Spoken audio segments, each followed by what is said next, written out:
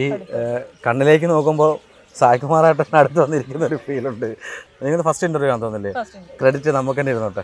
സത്യത്തിൽ എനിക്ക് പുള്ളിയുടെ കൂടെ അഭിനയിക്കാൻ ഇപ്പോഴും നല്ല ടെൻഷനുണ്ട് കാര്യം അഭിനയിക്കാൻ അറിയാവുന്ന വ്യക്തിയായതുകൊണ്ട് അറിയാത്ത വ്യക്തിയെന്നോ അഭിനയിക്കാൻ അറിയാത്ത എന്റെ അടുത്ത് പറഞ്ഞു അത് ഇവിടെ പറയരുത് പൊക്കി പറയണമെന്ന് പറഞ്ഞു പക്ഷെ ഇപ്പൊ ഇവിടെയും കുറെ കുടുംബങ്ങളെ കിട്ടിയില്ലേ? നല്ല സഹോദരങ്ങളെ കിട്ടിയില്ലേ? ജ്യേഷ്ഠ തുല്യനായിട്ടുള്ള നമ്മുടെ ശരൺ ചേട്ടനെ കിട്ടി. അതുപോലെ തന്നെ ആനന്ദേട്ടൻ. അച്ഛൻ തുല്യ ആം, ഇതിനെപ്പറ്റി കൂടുതൽ അറിയാത്തത് കൊണ്ടാണോ ചിന്തിക്കാത്തത് കൊണ്ടാണോ അറിയില്ല. ടെൻഷനൊന്നും ഇല്ലായിരുന്നു. ഫുള്ളി ബ്ലാങ്ക് ആയിരുന്നു. വന്ന് നിന്ന് ചെയ്തു. ആരാന്നൊന്നും നമ്മൾ നോക്കിയില്ല. നമ്മൾ അത്രയും ചെയ്തു. ലൊക്കേഷനിൽ അച്ഛൻ അധികം എന്നെ അങ്ങനെ കൊണ്ടുപോകാറില്ല. പിന്നെ മാനാരമത്തെ സ്പീക്കിങ്ങിന്റെ ലൊക്കേഷനിൽ ജസ്റ്റ് ഒന്ന് കൊണ്ടുപോയി കൊണ്ടുപോയി. ഒരിക്കലും ആരും വിശ്വസിക്കില്ല. ഈ സംസാരിക്കുന്ന കേട്ട് കഴിഞ്ഞാൽ ഫസ്റ്റ് സീരിയലാന്നുള്ളത് ആദ്യത്തെ സീരിയലാണ് ആദ്യത്തെ പ്രോജക്റ്റ് ആണ്. സീരിയൽ പ്രോജക്റ്റ് പ്രോജക്റ്റ് അതായത് സ്ക്രീനിൽ കാണുന്ന തന്നെ ആദ്യമായിട്ടാണ്. സായികുമാറാട്ടിന്റെ മകളെന്ന് എന്റെ അടുത്ത് അവിടെ വെച്ച് പറഞ്ഞു. നമ്മുടെ ജഗതിയിലെ വീട്ടിൽ വെച്ച്. അപ്പോൾ ഞാൻ അവിടെ നിന്നെടുത്ത് ഓടാ ഈ കിളവിയോ എന്ന് പറഞ്ഞു. ആ ഹലോ നമസ്കാരം. ഇന്ത്യ ക്ലിസിലേക്ക് സ്വാഗതം. ഇന്ന് നമ്മോടൊപ്പം വിശേഷങ്ങൾ പങ്കിടുന്നത് ഒരു അഭിനയ രംഗ അഭിനയ കളരിയിൽ നിന്ന് തന്നെ വരുന്ന ഒരാളാന്ന് പറയാം. അഭിനയ കുടുംബത്തിൽ നിന്ന് വന്ന ഒരാൾ തന്നെയാണ് നമ്മുടെ സായികുമാറാട്ടിന്റെ മകളാണ്. വൈഷ്ണവി സായികുമാറാണ് ഇന്ന് നമ്മോടൊപ്പം വിശേഷങ്ങൾ പങ്കിടുന്നത്. നമസ്കാരം വൈഷ്ണവി. കാര്യം എനിക്ക് ഭയങ്കര സന്തോഷമുള്ളത് എന്റെ നാട്ടുകാരിയാണ്. സായികുമാറാട്ടിന്റെ മകളാണ്. അതിലുപരി എനിക്ക് ഭയങ്കര സന്തോഷമുള്ളത്. രണ്ട് മൂന്ന് പ്രാവശ്യമായിട്ട് ട്രൈ ചെയ്യുന്നുണ്ട് ഇന്റർവ്യൂവിന് നിങ്ങൾ ഫസ്റ്റ് ഇന്റർവ്യൂ ആണെന്ന് തോന്നില്ലേ ക്രെഡിറ്റ് നമുക്ക് തന്നെ ഇരുന്നോട്ടെ. പറയൂ വിശേഷങ്ങൾ സീരിയൽ വിശേഷങ്ങൾ പറയൂ. എക്സ്പീരിയൻസ് എക്സ്പീരിയൻസ് എന്ന് പറഞ്ഞാൽ നല്ല എക്സ്പീരിയൻസ് ആണ്. പിന്നെ പറഞ്ഞൊക്കെ കേട്ടൊക്കെ അറിവുണ്ട് അച്ഛന്റെ അടുത്ത് നിന്നൊക്കെ. പക്ഷെ നേരിട്ട് എക്സ്പീരിയൻസ് ചെയ്യുമ്പോൾ ഡിഫറെന്റ് ആണ്. ഈ സീരിയലിലേക്ക് വരുമ്പോഴേ ഇത്രയും വർഷം എടുത്തു. ഒരു അഭിനയ രംഗത്തേക്ക് വരാൻ എനിക്കൊന്ന് ഏകദേശം ഇരുപത്തേഴ് വർഷം എടുത്തു തോന്നുന്നു. ഇരുപത്താറ് ഇരുപത്തേഴ് വർഷം എടുത്തു തോന്നുന്നു. അല്ലെങ്കിൽ പതിന മുപ്പത് വർഷം ഞാൻ കുറച്ചതാട്ടോ. ഇല്ല അതിനകത്ത് ഒരു പന്ത്രണ്ട് വർഷം കൂട്ടിക്കോളൂ. പതിനെട്ട് തൊട്ട് പന്ത്രണ്ട്. അപ്പോൾ ഈ പന്ത്രണ്ട് വർഷത്തിനിടയ്ക്ക് ഒരു നായിക കഥാപാത്രം ചെയ്യാനോ അല്ലെങ്കിൽ അങ്ങനെ ഒരു പ്രയത്നം ഒന്നും നോക്കിയില്ല എന്നാണോ അത് അച്ഛൻ ചെയ്യേണ്ട പഠിത്തം മതി ഓഫേഴ്സ് വന്നിട്ടുണ്ടായിരുന്നു. ദിലീപ് അങ്കിളൊക്കെ വിളിച്ച് സംസാരിച്ചിട്ടുണ്ടായിരുന്നു.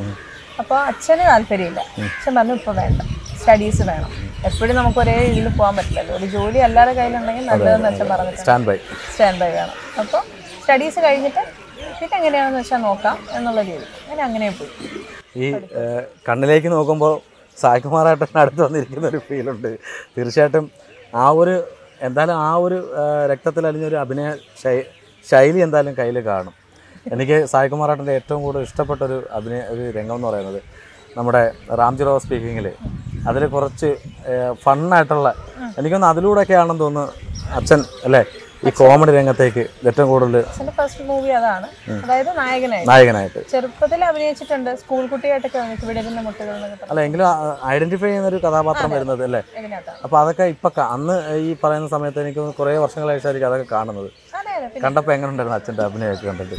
ആദ്യമേ കാര്യം അത് സ്ട്രെയിറ്റ് നാടകത്തിൽ നിന്ന് വരുന്ന ഒരു രൂപമായിരുന്നു അച്ഛന്റെ അപ്പൊ അമ്മയടുത്ത് ഞാൻ ചോദിച്ചിട്ടുണ്ട് ഇതെന്താണ് ഇങ്ങനെ? അപ്പൊ അമ്മ പറഞ്ഞു സ്വാധീന നാടകം കണ്ടിട്ട് ഇഷ്ടപ്പെട്ട് അങ്ങനെയാണ് ഈ ഓഫർ വരുന്നത്.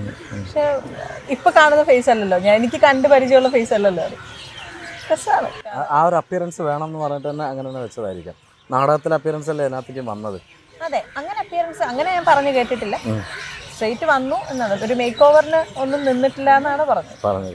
പക്ഷേ വൈഷ്ണവിയെ കുറിച്ച് ഞാൻ ഇവിടെ തിരക്കിയപ്പോഴേ ലൊക്കേഷൻ തിരക്കിയപ്പോൾ ഒന്നും അങ്ങോട്ടേക്ക് തരണ്ട എന്നുള്ളത്. അറിയാം നമുക്ക് പ്രോംപ്റ്റിങ് മാത്രം മതി. ബാക്കി ഞാൻ ചെയ്തോളാം എന്നുള്ളൊരു ആ ഒരു ആറ്റിറ്റ്യൂഡ് പക്ഷെ അത് അഹങ്കാരമല്ല. ദൈവത്തിന്റെ ഒരു ഏറ്റവും വലിയ അനുഗ്രഹമാണ് അല്ലേ? അച്ഛന്റെ അനുഗ്രഹമാണ്. അങ്ങനെ ഉണ്ടെങ്കിൽ. അങ്ങനെ ഉണ്ട് കാര്യം ഇവിടെ വന്നപ്പോൾ ഏറ്റവും കൂടുതൽ വാദോരാതെ സംസാരിച്ച ഷാർജ് ചേട്ടനാണ് വൈഷ്ണവിയെ കുറിച്ച് അപ്പം എന്നോട് പറഞ്ഞു എടാ ഇന്ന ചോദ്യങ്ങളൊക്കെ ചോദിക്കാവുള്ളൂ എന്നൊക്കെ എന്നോട് പറഞ്ഞു. എന്റെ അടുത്തുള്ള ഇഷ്ടം കൊണ്ടല്ല അച്ഛന്റെ അടുത്ത് ബഹുമാനമുള്ള അതെ അതെ അതെ അതെ. ഇതിലേക്ക് വെളി വന്നത് എങ്ങനെയാണ്? സീമാജി നായർ. ആ സീമ ചേച്ചി ആണ് സീമ ചേച്ചി കുറേ നല്ല പ്രവർത്തനങ്ങൾ ചെയ്യുന്നൊരു വ്യക്തിയാണ്. അപ്പോൾ അതിലൊരു വ്യക്തിയും കൂടാണല്ലേ ഇതിലേക്ക് വരാനുള്ളൊരു ചാൻസ്. പിന്നെ ഇടയ്ക്കിടയ്ക്ക് ഞാൻ വിഹേന്ദ്ര ക്യാമറ ശരൺചേട്ടൻ പറഞ്ഞു എടാ എന്നെക്കുറിച്ച് എന്തെങ്കിലുമൊക്കെ ചോദിച്ചു? പൊക്കി പൊക്കി പറഞ്ഞോളാം പറഞ്ഞു. പക്ഷേ അത് പറയേണ്ട കാര്യമില്ലല്ലോ. അല്ലേ? അതിന്റെ ആവശ്യമില്ല. വേണ്ട. പക്ഷെ എങ്കിലും പറഞ്ഞുതരാം കുഴപ്പമില്ല. ശരൺചേട്ടൻ ക്യാമറയുടെ ബാക്കിൽ ഇരിപ്പുണ്ട് പക്ഷേ ഒരു കാര്യം ഞാൻ പറയാം. അദ്ദേഹം എപ്പോൾ സംസാരിച്ചാലും ഞാൻ ഇന്റർവ്യൂ എടുത്ത സമയത്ത് സംസാരിച്ചപ്പോഴും എങ്ങനെ ഉണ്ടായിരുന്നു അദ്ദേഹത്തിന്റെ സപ്പോർട്ട് വളരെ നന്നായിട്ട് തന്നെയാണ്. ഇപ്പോഴും അതെ. ഓരോ കാര്യങ്ങളാണ്. സത്യത്തിൽ എനിക്ക് പുള്ളിയുടെ കൂടെ നിന്ന് അഭിനയിക്കാൻ ഇപ്പോഴും നല്ല ടെൻഷനുണ്ട് കാര്യം അഭിനയിക്കാൻ അറിയാവുന്ന ഒരു വ്യക്തിയായതുകൊണ്ട് അറിയാത്ത വ്യക്തിയെന്നോ അഭിനയിക്കാൻ അറിയാത്ത എന്റെ അടുത്ത് പറഞ്ഞു. അത് ഇവിടെ പറയരുത്. പൊക്കി പറയണമെന്ന് പറഞ്ഞു. അത്ര എക്സ്പീരിയൻസ്ഡ് ആയിട്ടുള്ള വ്യക്തി. വ്യക്തി ആയതുകൊണ്ട് ചെയ്യുമ്പോൾ ചെറിയ ടെൻഷനുണ്ട് എന്നാലും ബാക്കി അഭിനയിക്കാൻ അറിയില്ല എന്നല്ല കേട്ടോ. അല്ല പേരല്ലേ അപ്പൊ കൂടുതലായിട്ട് ചെയ്യേണ്ടതല്ലേ? കോമ്പിനേഷൻ വരുന്നത് പക്ഷെ ടെൻഷൻ ഉണ്ടാവാറുണ്ട് അപ്പം ചേട്ടനത് അത് ഹാൻഡിൽ ചെയ്യാനായിട്ട് പറഞ്ഞു തരും. എങ്ങനെ വേണം ഏത് ഇന്ന് കൂടി രാവിലെ ആണെങ്കിലും കുറച്ച് ഹെവി ആയിട്ടുള്ളൊരു സീനായിരുന്നു അതിനും പുള്ളി നന്നായിട്ട് സപ്പോർട്ട് ചെയ്യും അപ്പോൾ ഇതിൽ വന്നതിന് ശേഷം എങ്ങനെയുണ്ട് ജീവിതം? ഒരു വർഷമായി. വീട്ടിലധികം പോകാൻ പറ്റിയിട്ടില്ല. പറ്റിയിട്ടില്ല.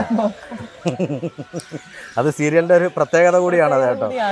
പിന്നെ കോവിഡ് സിറ്റുവേഷൻസും പിന്നെ ഇപ്പൊ വൺ അവർ ആക്കിയിട്ടുണ്ട് സീരിയലാ ഡ്യൂറേഷൻ കൂടുതലാണ് അപ്പൊ. പക്ഷെ ഇപ്പൊ ഇവിടെയും കുറെ കുടുംബങ്ങളെ കിട്ടിയില്ലേ? നല്ല സഹോദരങ്ങളെ കിട്ടിയില്ലേ? ജ്യേഷ്ഠ തുല്യനായിട്ടുള്ള നമ്മുടെ ശരൺ ചേട്ടനെ കിട്ടി. അതുപോലെ തന്നെ ആനന്ദേട്ടൻ അച്ഛൻ തുല്യ. ആ.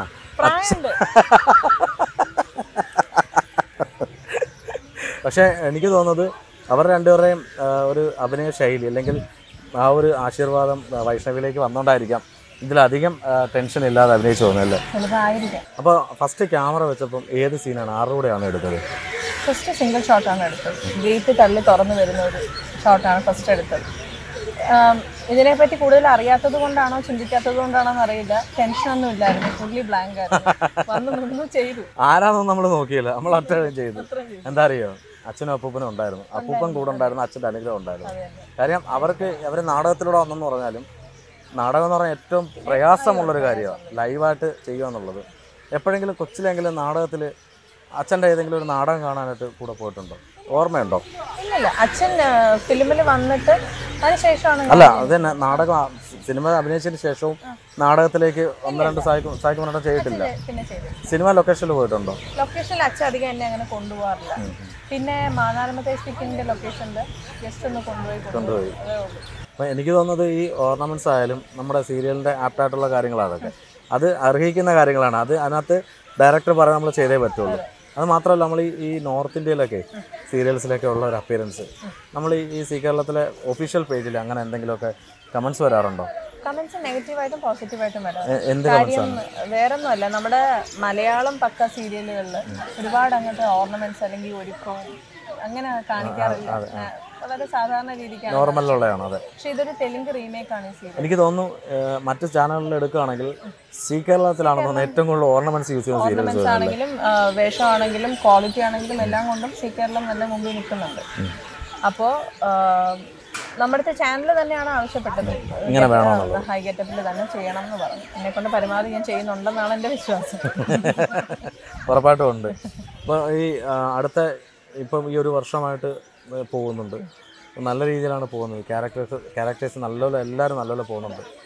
ഇനി അടുത്ത ഓഫർ കാര്യം ഒരിക്കലും ആരും വിശ്വസിക്കില്ല ഈ സംസാരിക്കുന്ന കേട്ട് കഴിഞ്ഞാൽ ഫസ്റ്റ് സീരിയലാണെന്നുള്ളത് ഒന്നുകൂടെ ഒന്ന് പറഞ്ഞുതരാം പ്രേക്ഷകരോട്. ആദ്യത്തെ സീരിയലാണ് ആദ്യത്തെ പ്രോജക്റ്റ് ആണ്. നല്ല ഫസ്റ്റ് പ്രോജക്റ്റ് പ്രോജക്റ്റ് അതായത് സ്ക്രീനിൽ കാണുന്ന തന്നെ ആദ്യമായിട്ടാണ് എല്ലാവർക്കും. ഇപ്പോഴും അറിയാത്ത ആൾക്കാരുണ്ട്. ഇഷ്ടം പോലെ പേരില്ലേ? തീർച്ചയായിട്ടും നമ്മുടെ സായികുമാറിന്റെ മകൾ തന്നെയാണ് വൈഷ്ണവി. അപ്പോൾ വൈഷ്ണവി ആദ്യം ഞാൻ കണ്ടപ്പോഴേ എന്നെ തൊഴിക്കൊന്നും ചെയ്യല്ല കേട്ടോ? സായികുമാറിന്റെ മകളെന്ന് എന്റെ അടുത്ത് അവിടെ വെച്ച് പറഞ്ഞു നമ്മുടെ ജഗതിയിലെ വീട്ടിൽ വെച്ച്. അപ്പോൾ ഞാൻ അവിടെ നിർത്ത പോടാ ഈ കിളവിയോ? എന്ന് പറഞ്ഞു. എന്നെ ഒന്നും പറയല പിന്നെയാണ് ഈ കാര്യം വെച്ചാൽ അതെ. എന്ന് വെച്ചാൽ പിന്നെയാണ് ഞാൻ അറിഞ്ഞത് ഇത് മേക്കപ്പ് ഫുൾ മേക്കപ്പാണ് ഇപ്പം എന്റെ തെറ്റിദ്ധാരണ മാറി കേട്ടോ. ക്ഷമിക്കണം കേട്ടോ. ഞാൻ അന്നേരം അന്നൊരു കോമഡി ആയിട്ട് പറഞ്ഞതാ. ഞാൻ വിശ്വസിച്ചില്ല സായികുമാറിന്റെ മകളാണെന്നുള്ളത്. അല്ല വേറെ ഈ ഗെറ്റപ്പിൽ നിന്നാലേ അല്ല അതല്ല ബാക്കിയുള്ളവർക്ക് കണ്ടിട്ടില്ല. അധികം പോകും നമ്മുടെ ഫോട്ടോസിൽ പോലും കണ്ടിട്ടില്ല. അച്ഛൻ വീട്ടിലുള്ള സമയം വരെ സോഷ്യൽ മീഡിയ ഒന്നും അധികം ഫേസ്ബുക്കും ഇൻസ്റ്റയൊന്നും അത്ര ആക്റ്റീവ് അല്ലായിരുന്നു. അല്ല അല്ല. അതിനുശേഷമാണ് അതിന് ശേഷമാണ് ഇതൊക്കെ വന്നത്. ഇപ്പോൾ ഈ ഒരു ഹസ്ബൻഡ് ഇത്രയും നല്ല സപ്പോർട്ട് ചെയ്യുന്നുണ്ട്. ഇനി അടുത്ത പ്രോജക്റ്റ് ഇപ്പോൾ ഇത് കണ്ടിട്ട് ആരെങ്കിലും ഒക്കെ വിളിച്ചിട്ടുണ്ടോ? വിളിച്ചിട്ടുണ്ട്. സീരിയൽസ് ആണെങ്കിലും ഇതൊക്കെ വന്നിട്ടുണ്ട്. പക്ഷേ ഇവിടെ ടൈറ്റായിട്ട് ഷെഡ്യൂൾ പോയിക്കൊണ്ടിരിക്കുന്നത്. അത്യാവശ്യം പ്രധാനപ്പെട്ട റോളാണ് ഇതിനകത്ത്. അതെ അതെ അതെ. മെയിൻ ക്യാരക്ടർ അതുകൊണ്ട് ഞാൻ പറഞ്ഞില്ലേ കണ്ടിന്യൂസ് ആയിട്ട് ഷൂട്ട് പോയിക്കൊണ്ടിരിക്കാം. നമുക്ക് വീട്ടിൽ പോലും പോകാൻ സമയം കിട്ടുന്നില്ല. അപ്പോൾ എനിക്ക് തോന്നുന്നതേ ഈ ഒരു ഇന്റർവ്യൂ കൂടെ കഴിയുമ്പോഴത്തേക്കിന് എനിക്ക് തോന്നുന്നത് ഏതെങ്കിലും സിനിമയിലെ ഡയറക്ടേഴ്സ് വിളിക്കാൻ ചാൻസ് ഉണ്ട്. കാര്യം നമുക്ക് ആഗ്രഹം അല്ല നമുക്ക് അങ്ങനെ പോകണമെങ്കിൽ നമുക്ക് പോകാമായിരുന്നു പക്ഷേ പഠിത്തം കഴിഞ്ഞു. സേഫായി ജോ പിന്നെ വിവാഹമെല്ലാം കഴിഞ്ഞ് നല്ല ഒരു നല്ലൊരു കുടുംബമായിട്ട് പോയിക്കൊണ്ടിരിക്കുക പിന്നെ ഒരു നല്ലൊരു ഓഫറൊക്കെ വന്ന സിനിമ നോക്കിക്കൂടെ? ഏ? പറഞ്ഞോളാം എന്നാ. ഉറപ്പായിട്ട്. അത് അത് ചെയ്യണം എന്ന് തന്നെയാണ് ഞങ്ങളുടെ എല്ലാ ആഗ്രഹം. കാര്യം ഇനി എനിക്ക് തോന്നുന്നു കൂടുതൽ ഇനി അമ്മ കഥാപാത്രങ്ങൾ കിട്ടാൻ ചാൻസസ് ഉണ്ട്. കാര്യം നമ്മുടെ പൊന്നമ്മ ബാബു ചേച്ചിയായാലും അല്ലെങ്കിൽ കവിയൂർ പൊന്നമ്മ അമ്മയായാലും ഇവരൊക്കെ ചെറുപ്പത്തിലെ അമ്മ വേഷങ്ങൾ കൈകാര്യം ചെയ്തിട്ടുള്ളത് അവർ സെലക്ട് ചെയ്യുന്നതുകൊണ്ടാണ് നമുക്കിപ്പോൾ ഈ ഞാൻ പറഞ്ഞില്ലേ എനിക്കിത് ഫസ്റ്റ് ഈ ക്യാരക്ടർ എന്റെ അടുത്ത് വരുമ്പോൾ എനിക്ക് ഭയങ്കര ഒരു മനസ്സിലൊരു കോംപ്ലക്സ് പോലെ ഫീൽ ചെയ്തിരുന്നു. കാര്യം ഈ ഒരു ഏജിൽ ഇത്രയും ഏജുള്ള ഒരു ക്യാരക്ടർ എടുക്കണം എന്ന് വേണോന്ന് ചിന്തിച്ചു. അപ്പോൾ അച്ഛനെയും അപ്പനെയൊക്കെ മനസ്സിൽ വന്നു.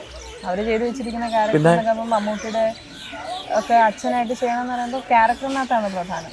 അഭിനയിക്കാൻ ഏരിയ ഉണ്ടോ എന്നുള്ളതാണ്. പിന്നെ സായി ചേട്ടനൊക്കെ ആണെങ്കിൽ അച്ഛനായിട്ടും അപ്പൂപ്പനായിട്ടും വില്ലനായിട്ടും നായകനായിട്ടും ഉപനായകനായിട്ടും ഒക്കെ വന്നിട്ടുണ്ട്. എല്ലാ മേഖലയും തൊട്ടിട്ടുണ്ട് അല്ലേ? അപ്പൊ പിന്നെ നമ്മൾ നോക്കണ്ട. പക്ഷെ ഒരു പ്ലസ് പോയിന്റ് ഉള്ള എന്താ അറിയോ സീരിയൽസിൽ നരയിടത്തില്ല. ഇല്ല. അതാണ് അത് മെയിൻ ഒരു സംഭവമാണ്. കാര്യം സീരിയൽ നമ്മുടെ അടുത്ത് എടുത്ത് പറഞ്ഞു നര വേണ്ട. ശരി. അത് തന്നെയല്ല സീരിയൽ തുടങ്ങുമ്പോൾ നമ്മുടെ ഒരു ചെറുപ്പം കാണിച്ചിട്ടാണ് വന്നത്. തോന്നുന്നത്. അതൊരു പ്ലസ് പോയിന്റ് അല്ലേ ഞാൻ പറഞ്ഞത്? കാര്യം മിക്ക സീരിയലും നിങ്ങൾ നോക്കിക്കോളൂ. നമ്മുടെ സി കേരളത്തിലെ അധികം നര അങ്ങനെ യൂസ് ചെയ്തിട്ടില്ല ചില ക്യാരക്ടറിന് പക്ഷേ ഇങ്ങനെയുള്ള ക്യാരക്ടറിന് നരയേ ഇല്ല എന്നുള്ളതാണ്. അപ്പോഴും പ്രായം നമുക്ക് അറിയത്തുമില്ല. നമ്മുടെ കഴിഞ്ഞ രണ്ട് വർഷമായിട്ട് സീരിയൽസിനൊന്നും അവാർഡ് ലഭിക്കാത്ത അതായത് ഇതിന് വലിയ സീരിയൽ വരുന്ന സീരിയലിന് ക്വാളിറ്റി ഇല്ല എന്നുള്ള ഒരു പേരാണ് പറയുന്നത്. അവാർഡ് നിരസിച്ചു പോകുന്നത്. അതിനെക്കുറിച്ച് ഇപ്പോൾ ഒരു വർഷമായിട്ടുള്ള എക്സ്പീരിയൻസ് ഉണ്ടല്ലോ. അങ്ങനെ തോന്നാറുണ്ടോ? ഇങ്ങനെ നിലവാരമില്ലാത്ത സീരിയലാണ് വരാമെന്ന് ഞാൻ പറഞ്ഞില്ലേ ഇതിപ്പോൾ തന്നെ ഈ സീരിയലിനകത്ത് കൂടുതലും തെലുങ്ക് റീമേക്ക് ആണ് ഈ സീരിയൽ അപ്പോൾ നമ്മുടെ മലയാളി പ്രേക്ഷകർക്ക് അക്സെപ്റ്റ് ചെയ്യാൻ പറ്റാത്ത ചില കാര്യങ്ങളുണ്ടാവും. പക്ഷേ ഇതൊന്നും പറയാൻ ഞാൻ ആളല്ല. ഞാൻ എന്റെ പേഴ്സണൽ ഒപ്പീനിയൻ പറയാണ് ചോദിച്ചതിന്റെ പേര് അപ്പോൾ ഇതൊരു ഫിക്ഷൻ ആണെന്ന് ചിന്തിച്ചാൽ തീരാവുന്ന പ്രശ്നമേ ഉള്ളൂ. ഇതൊക്കെ ചിലപ്പം നമ്മൾ നമ്മൾ തന്നെ ചോദിക്കാറുണ്ട് ഇതൊക്കെ എവിടെങ്കിലും നടക്കുമെന്ന്. നമ്മൾ ചോദിക്കാറുണ്ട്. പക്ഷെ അതൊരു ഫിക്ഷൻ ആണെന്ന് ചിന്തിച്ചാൽ തീരാവുന്ന പ്രശ്നമേ അല്ല എങ്കിലും അത് മറ്റ് ചാനലുകളിലും സീരിയലുണ്ട് നല്ല സീരിയൽസ് കരയുന്ന സീരിയൽസ് ഉണ്ട്. അല്ലെങ്കിൽ സി കേരളത്തിൽ മിക്കതും ബോൾഡായിട്ടുള്ള അല്ല കരയുന്ന സീരിയൽസിനാണ് കൊടുക്കാറുള്ളത് എന്നുള്ള ഒരു സംസാരം പൊതുവേ ഉണ്ട്. അതുകൊണ്ടാണ് എടുത്തു പറയുന്നത്. കാര്യം നമ്മുടെ സി കേരളത്തിലെ സീരിയൽ എടുക്കുകയാണെങ്കിൽ എല്ലാം നല്ല ബോൾഡ് ആൻഡ് ബ്യൂട്ടിഫുൾ ആയിട്ടാണ് എടുത്തിരിക്കുന്നത്. എടുത്തിട്ട് എല്ലാ കഥാപാത്രവും അത്ര കരച്ചിലുള്ളതല്ല. ആൾക്കാർ കാണാൻ ഇൻട്രസ്റ്റഡ് ആയിരിക്കും. പക്ഷെ മറ്റ് ചാനൽ ചാനലുകൾ എടുക്കുകയാണെങ്കിൽ ഈ കരയുന്ന ഒഴിവാക്കാൻ പറ്റുന്ന സീരിയൽസ് അല്ല. ഒരു കുടുംബത്തിലും നമ്മൾ യഥാർത്ഥത്തിൽ നോക്കുകയാണെങ്കിൽ ഒരു കുടുംബത്തിൽ എപ്പോഴും ഈ രീതിയിൽ ഒരുങ്ങി അങ്ങോട്ട് പോകുന്നു ഇങ്ങോട്ട് പോകുന്നു എന്നുള്ള സംഭവങ്ങളല്ല. കരയുന്നെന്ന് പറയുന്ന എല്ലാ കുടുംബത്തിലും വിഷമങ്ങളും കാര്യങ്ങളും ഉണ്ട്. അല്ല ഇനി അതാണ് അവാർഡ് കൊടുക്കാൻ അവർ ഉദ്ദേശിച്ചത്. കരയുന്നത് കരയുന്ന സീരിയൽസിന് മാത്രമേ കൊടുക്കാന്നുള്ളത് ചോദിക്കണം. അതാണ് എന്താണ് നിങ്ങൾ ഉദ്ദേശിക്കുന്ന സംഭവം അവരടുത്ത് തന്നെ ചോദിച്ചാലേ മനസ്സിലാവും. പക്ഷെ അതിലൊക്കെ ഒരു വിഷമം ഇപ്പൊ സീരിയൽ ആർട്ടിസ്റ്റ് ഇപ്പൊ ഒരു കാര്യം എല്ലാവരും എല്ലാവരും കഷ്ടപ്പെടുകയല്ലേ ഇതിന്റെ ഒരു ചെറിയൊരു റീസൺ വെച്ചിട്ട് നിലവാരമില്ല എന്ന് പറയുമ്പോഴത്തേക്കും ഒറ്റയടിക്ക് തീർന്നില്ല. ഇത്രയും നാളെ എന്തൊക്കെയാണെങ്കിലും ഇപ്പൊ കണ്ടില്ലേ? ഇവിടെ എത്ര പേരാണ് ഒരു ഞാൻ കണ്ടു തീർച്ചയായിട്ടും. അതെ അതെ അതെ അപ്പോൾ അതിനൊരു എന്തെങ്കിലും ഒരു വാല്യൂ കൊടുക്കണം എന്ന് എന്റെ ഒരു പേഴ്സണൽ ഒപ്പീനിയൻ ഒരു തീർച്ചയായിട്ടും വൈഷ്ണവി പറഞ്ഞു തന്നെയാണ്. ഒരു സീരിയലിന്റെ പിറകിൽ നമ്മൾ കാണുമ്പോൾ കുറേ ആഭരണം ഇട്ട് പിന്നെ അഭിനയിക്കുന്നുണ്ട്. പക്ഷേ ഇതിന്റെ പിന്നിൽ കുറേ പ്രവർത്തിക്കുന്ന ആൾക്കാരുണ്ട് കുറേ ചെറുപ്പക്കാരുണ്ട്. അപ്പോൾ ഇനിയെങ്കിലും അടുത്ത വർഷമെങ്കിലും സീരിയൽ സീരിയൽ സെലക്ട് ചെയ്ത് അവാർഡ് കൊടുക്കണം തന്നെയാണ് ഞങ്ങളുടെ എല്ലാ ആഗ്രഹം. അപ്പോൾ നമ്മുടെ പ്രേക്ഷകരോട് എന്താ പറയാനുള്ളത്? സപ്പോർട്ട് ഉണ്ടാവണം. തെറ്റുറ്റിട്ടുണ്ടെങ്കിൽ പറഞ്ഞു തരണം. മനസ്സിലാക്കി ചേരണം. അത് സ്വീകരിക്കാൻ തയ്യാറാണ്. നല്ലതാണെങ്കിൽ നല്ലതാണെന്നും പറയണം. ഒരു സന്തോഷം. അപ്പോൾ ഞാൻ പറഞ്ഞ പോലെ തന്നെ നല്ല നല്ല റോൾസ് കിട്ടട്ടെ. ഇനിയാണ് ചിലപ്പോൾ ഒരു നായികയാവാൻ പോകുന്നതെങ്കിലോ? അറിയാൻ പറ്റത്തില്ല. ഉറപ്പായിട്ടും ലാലേട്ടന്റെ ചെയ്യാൻ അത് ഒരു സീനാണെങ്കിലും നല്ലോണം പ്രേക്ഷകരുടെ മനസ്സിൽ നിൽക്കുന്ന സീനാണെങ്കിൽ അല്ല ഞാൻ പറഞ്ഞ നായികയായിട്ട് വരട്ടെ എന്ന്. അയ്യോ അപ്പോൾ ലാലേട്ടന്റെയും മമ്മൂക്കയുടെയും ദുൽഖറിന്റെയും ഒക്കെ സിനിമകളിൽ നമ്മുടെ ടൊവിനയുടെയും പൃഥ്വിരാജിന്റെയും സിനിമയിലേക്ക് ഇനിയും വിളിക്കാൻ ചാൻസസ് ഉണ്ടാവും. ഉണ്ടാവട്ടെ എന്ന് ആഗ്രഹിക്കുന്നു. ഞങ്ങളെല്ലാവരും പ്രത്യേകിച്ച് എനിക്ക് ഒരു ഒരു പടി മേളിലാണ് ഞാൻ. നമ്മളൊരു നാട്ടുകാരനായതുകൊണ്ട് അതെ നാട്ടുകാരായതുകൊണ്ട് അപ്പോൾ തീർച്ചയായിട്ടും എല്ലാവിധ ഭാഗങ്ങളും നേരുന്നു. ഇനി ഇനിയും മുന്നേറട്ടെ. ഐശ്വര്യം എല്ലാം ഉണ്ടാവട്ടെ. Thank you so much comfortable ആയിരുന്നു